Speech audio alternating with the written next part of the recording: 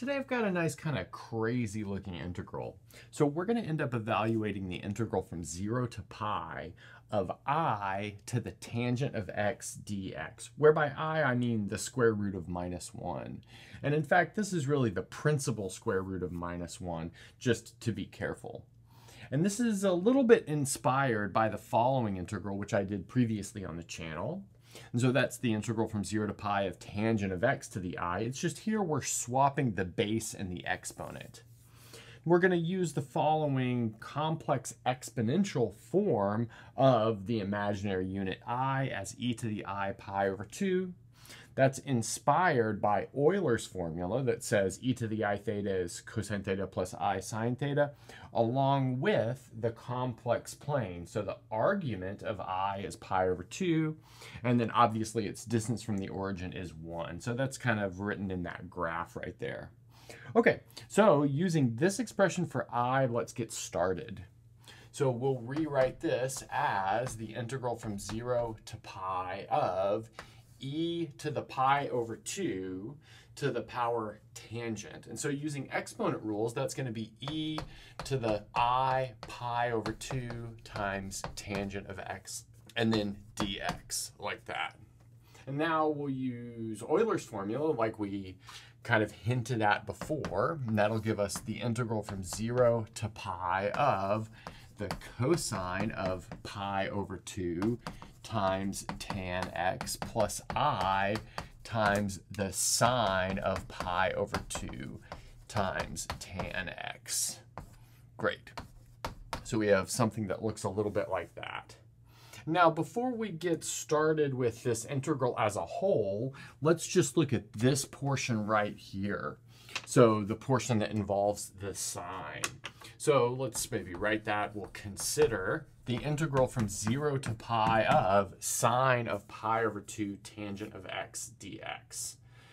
And we'll do this by making a substitution. And so what's the substitution that we'll make? Well, let's take u and set it equal to pi minus x. So we have pi minus x like that. But notice that means that x is equal to pi minus u, and du is equal to minus dx, which is the same thing as saying dx is equal to minus du. And then what happens to the bounds of integration? So if x is equal to 0, that tells us u is equal to pi, and likewise, if x is equal to pi, that tells us that u is equal to 0. Okay, so we've got a lot of stuff there involving this change of variables. So exactly how are we going to use that?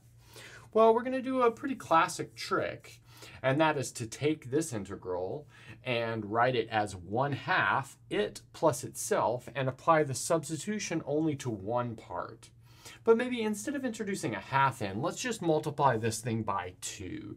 And then whatever we get for the value of this integral in the end, we'll just multiply it by a half. Okay, so that's going to be equal to the integral from 0 to pi of the sine of pi over 2 times the tangent of x dx.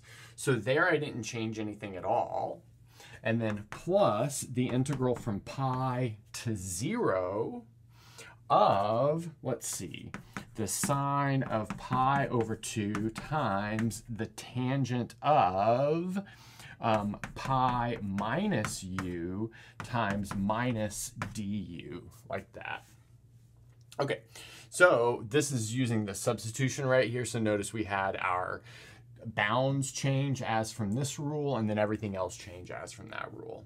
Okay, so now I'm going to do a little bit of a cheat. It's not really a cheat, but it's just a simplifying procedure. I'm going to do a trivial change of variables here back from u to x. So I'll just replace all of the u's with x's. And so that's totally allowed because u is a dummy variable. Okay, so here I'll replace this back with x and I'll replace this with x as well.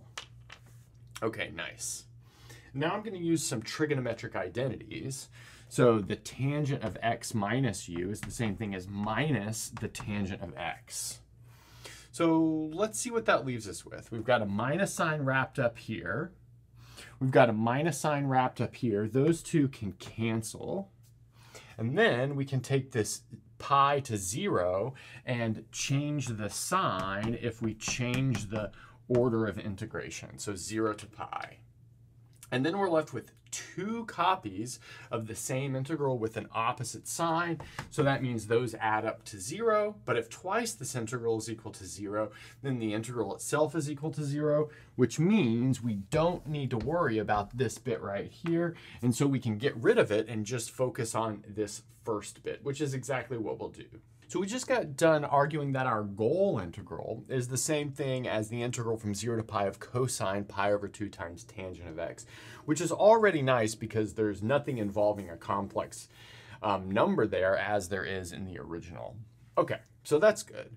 Now we're going to do another change of variables. I'll use u again, and the change of variables we'll use here is u equals the tangent of x over 2.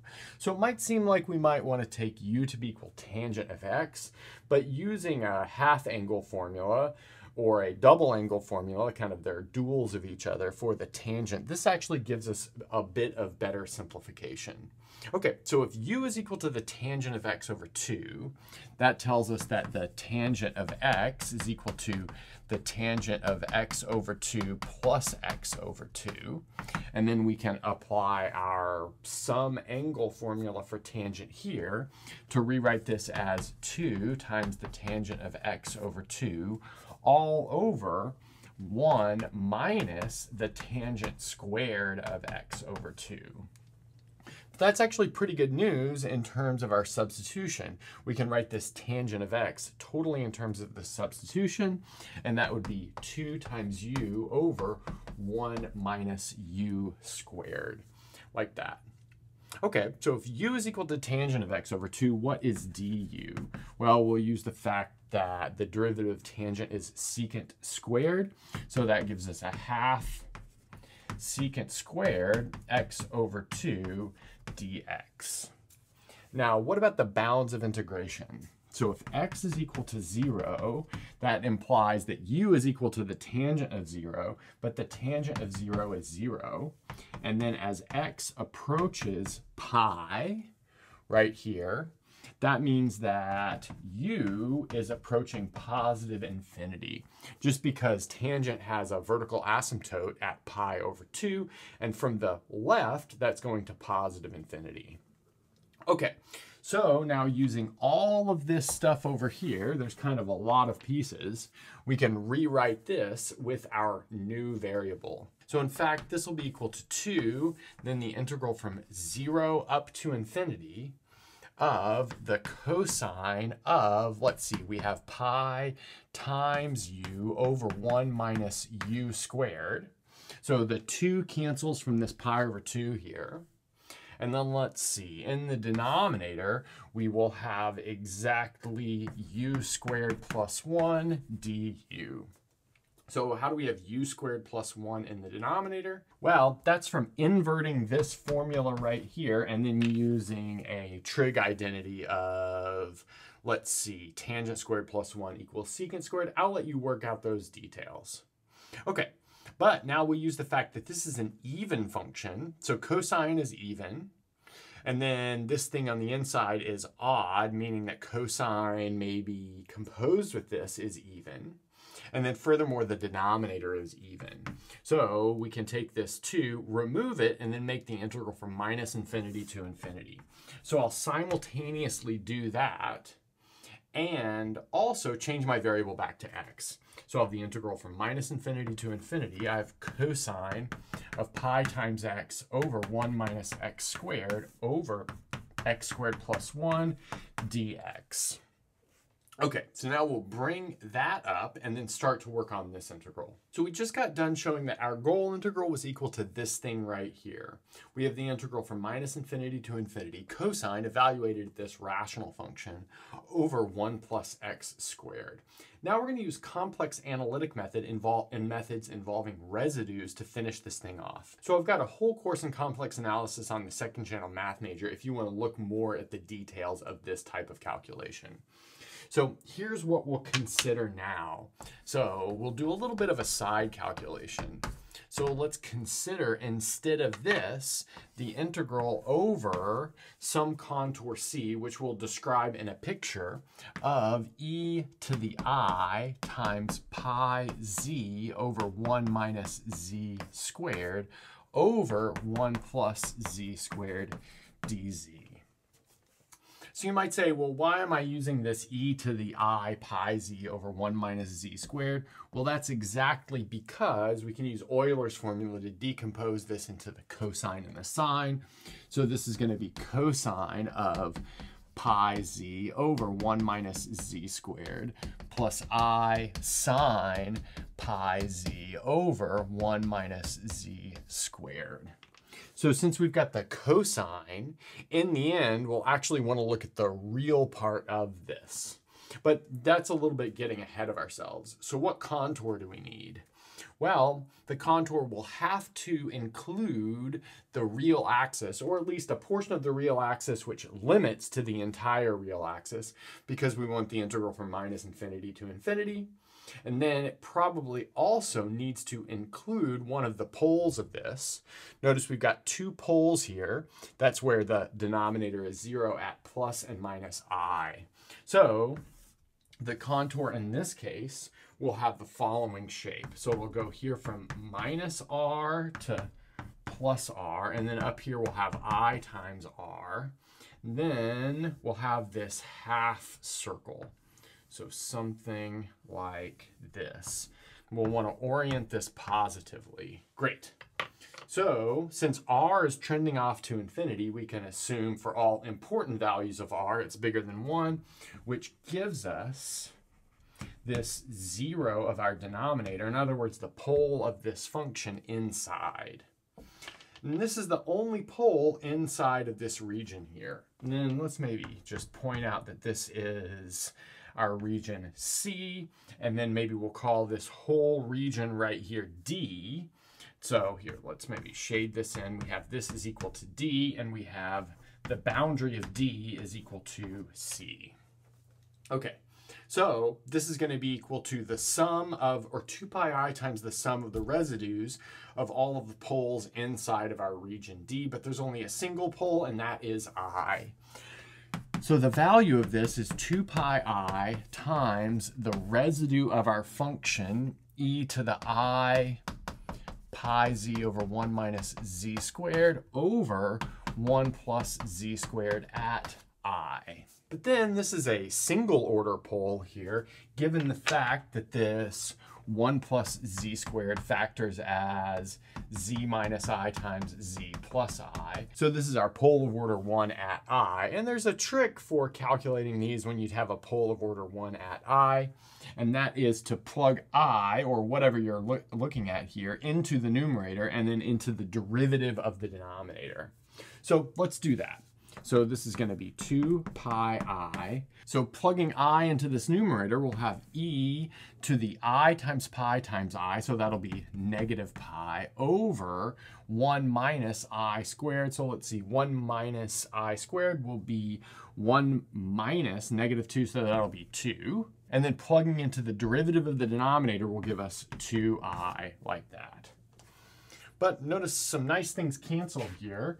So this i cancels with this i, and then this 2 cancels with this 2, leaving us with pi times e to the minus pi over 2. Okay, so let's maybe summarize this data right here at the top of the board, and then we can finish the calculation. So on the last board, we calculated this associated complex integral that will relate to our real integral right here. So notice that if we take the real part of this integral along this real axis, we get exactly our goal integral. So that's important to notice.